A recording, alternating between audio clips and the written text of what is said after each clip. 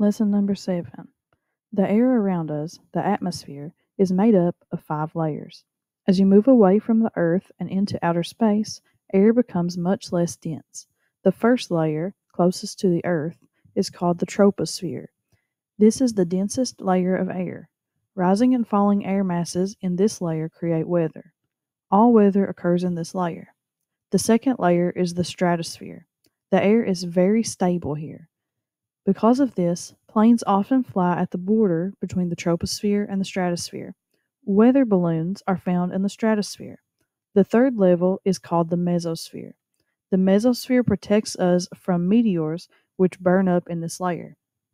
The fourth layer is the thermosphere. The largest of all layers, the farthest part of the thermosphere is 530 miles from Earth. The space shuttle orbits in the thermosphere. The final layer is called the exosphere. This is where the atmosphere meets outer space. Remembering the order in a list can often be helped with the aid of a mnemonic device, a phrase built around the first letter or sound in each word. For example, the layers of the atmosphere can be remembered from the nearest to farthest using this phrase Tremendous sounds make things exciting. Number three, which of the following organisms is a producer? A flower, a rabbit, or a bear? Number four, which organism above is an herbivore? A petunia, which is the flower, the rabbit, or the brown bear? Number five, which of the following would not be used to identify a mineral? Streak, cleavage, taste. Number six, choose the statement that best describes global warming. A. Global warming occurs because of a hole in the ozone layer. B. Global warming is the result of too many greenhouse gases building up in the atmosphere.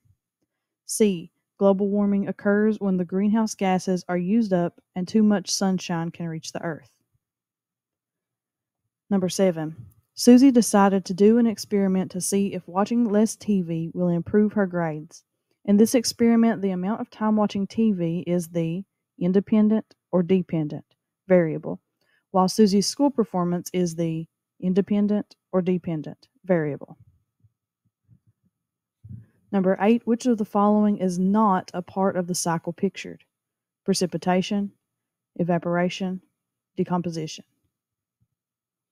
Number nine, the hydrosphere contains all parts of the earth related to air, soil, water. Number 10, which of the following is a renewable source of energy? Coal, ethanol from corn, natural gas.